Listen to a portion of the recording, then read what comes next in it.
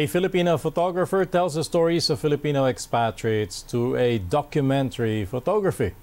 The acclaimed artist, who's also a former migrant worker, shares how telling stories of Filipinos overseas gives hope. Don Tagala has this story. Acclaimed photographer Xyza Bacani was commissioned a documentary photography of overseas Filipino workers in the United Arab Emirates in 2015. She recently talked about her work at the New York University and gave the audience a rare glimpse of the lives that represent the 700,000 Filipino diaspora in the Gulf state. One of Xyza's great gifts is she humanizes um, our kababayans uh, in those situations. Uh, and, and, and I just learned a lot from her about that. To really hear their stories and listen to them and know what they're going through, both the bad but also the good um, that they go through, is something that I think uh, we should listen to. Bacani shares she relates to OFW's experiences having been the child of a migrant worker. I am one of them. And I do feel that having those experiences give me a very unique uh, perspective on the issues that we go through as Filipino migrant workers.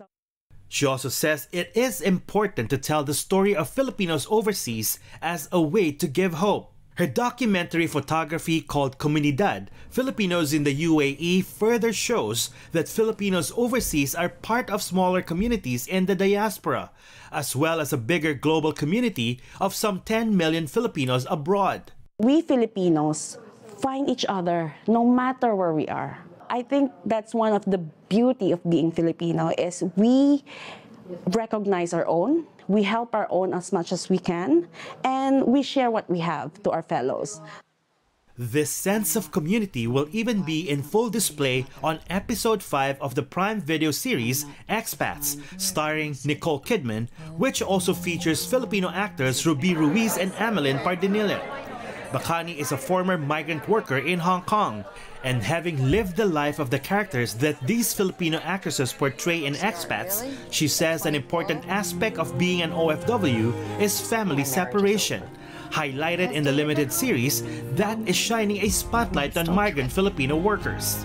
Nagkakaroon ng ano eh ng um, trauma, the traumas that is that we carry towards our adulthood. Meron yan lalabas at lalabas, the trauma of abandonment, the trauma of, of relationships. I think that is one thing that we should talk about. For Bacani, capturing the lives of Filipinos overseas, whether through her lens or the lens of Hollywood, and more than humanizing them, it is important to listen with intention to what these migrant Filipinos have to say, so their stories can be told in a more nuanced and dignified way. A special extended episode 5 of Expats that surrounds OFWs in Hong Kong will drop next week, February 15 on Prime Video. Don Tagala, ABS-CBN News, New York. A group of Filipino-Canadian filmmakers and talents have banded together to create a short comedy film about three sisters who accidentally ruined their brother's nuptials. Rowena Papasin has more. Take yours up. Quiet all around. Three Ates and a Wedding is the first film project that brings together many Filipino creatives both in front and behind the camera. All parties stand up. Uh, uh, uh. Filipino-Chinese-Canadian filmmaker Kevin Ang, whose award-winning films have been screened in prestigious festivals including Palm Springs and Cinemalaya, penned and directed the film. Ang said he wanted this to be a project that will harness the talent and expertise of Filipino filmmakers in Vancouver. We got all these different producers, all these great actors, you know, put them into key roles and just make this big kind of like family, like a family reunion of sorts, both behind and in front of the screen. The short comedy shows what happens when three sisters, jealous of their mother's love for their youngest brother, embarrass him in their drunken toast at his wedding. Ang got the idea while he was shooting wedding videos a few years back. One of the film's executive producers, Lumen Beltran, is also cast as the second sister, Marisa. Beltran says the comedy highlights how Filipino kids born in Canada are shaped by their upbringing and environment. We're taught hard work. We're taught um, love within within the family and putting our family members first. But there are some moments, especially as we're getting into adulthood, where we want to embrace our independence. Luisa Tronco and May Belen, who played the role of the two other sisters, said the film shows that despite misunderstandings within the family, the Filipinos' family bond remains strong. I think family is the main thing. Uh, I think the importance of family, even though you might go through some hard times, at the end of the day, my mom always said blood is thicker than water. Maybe we may have some small vendettas against each other here and there, but they're all very superficial. And, and honestly, what really matters is that we can all come together and be happy. After learning about the Three Ates movie, seasoned Filipino-Canadian thespians made sure that they will have a part in the comedy. It's a Filipino project, so kailangan suportahan natin yung mga kagaya nating Filipino. In-offer yung, yung role sa akin, nakita ko yung cast. Aba, kailangan kasali ako rito. Uh, Pinoy eh. Sigrid Pareja, who plays the mom, said Filipinos are naturally comedians. Yun yung, I find na yun yung ating coping mechanism to kind of like relax and have Yeah, fun. It's like we're, we're Yeah. very fun-loving people. And One of the actors in the comedy, Christian Canilanza, was able to get some financial help from the Bank of Montreal for the old Filipino production. Filmmaker Phil Planta, who's also an executive producer in Three Ates, believes this is the right time to make Filipino-made movies that will create buzz in the movie industry. Hopefully we can all get together and start making um, bigger projects, pitching projects uh, to the uh, Canadian funding groups and uh, get these projects rolling just like um, any other filmmaker, um, but tell our own Filipino stories um, with our own Filipino cast. Other Filipino groups also contributed in cash and in kind to ensure the successful production of Three Ates. Rowena Papasin, ABS-CBN News, New Westminster. The Hollywood Awards season up and running, a Filipino chef leads a team that brings delectable dishes to a star-studded clientele. Our Hollywood correspondent Yong Chavez talks to Chef John Umali about his journey from a small Filipino restaurant in California to one of LA's most iconic hotels.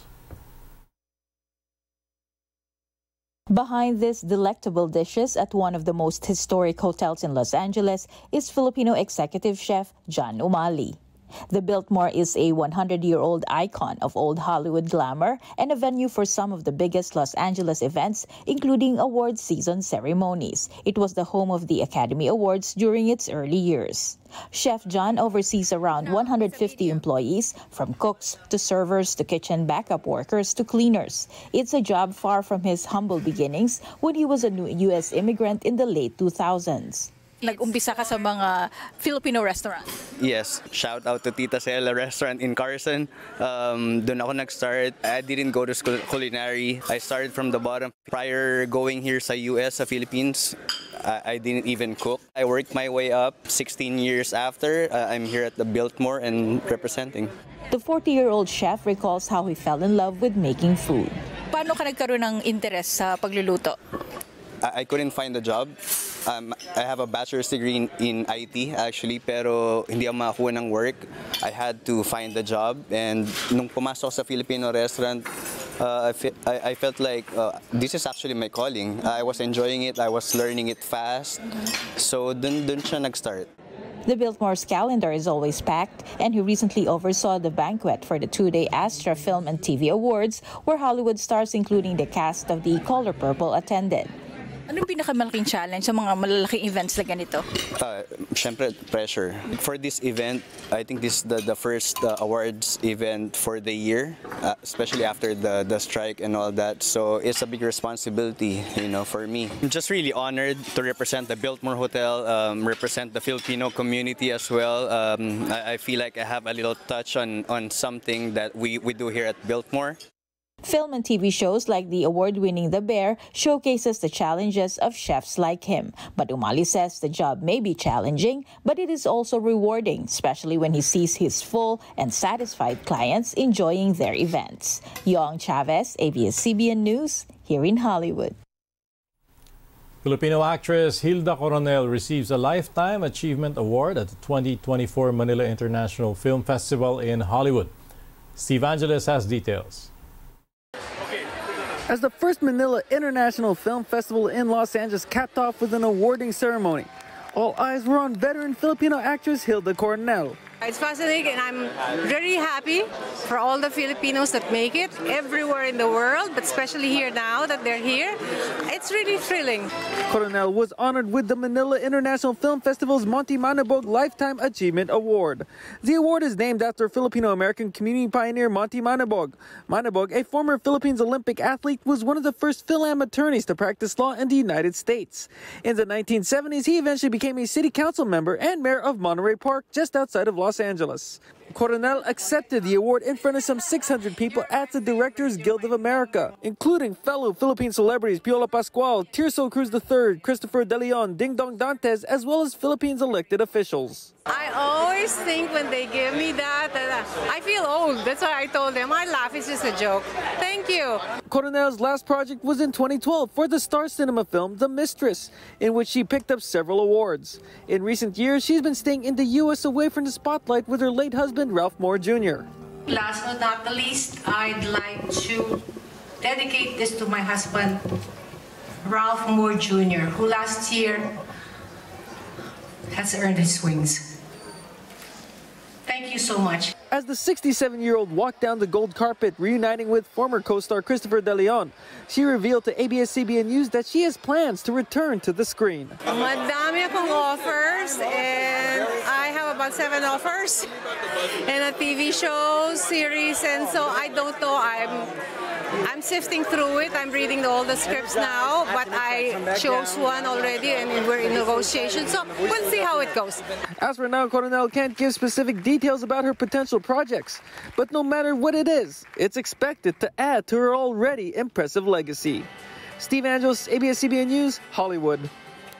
Filipino actress Liza Soberano makes her Hollywood debut in the romantic horror comedy Lisa Frankenstein. Our resident movie critic Manny the Movie Guy tells us what he thinks.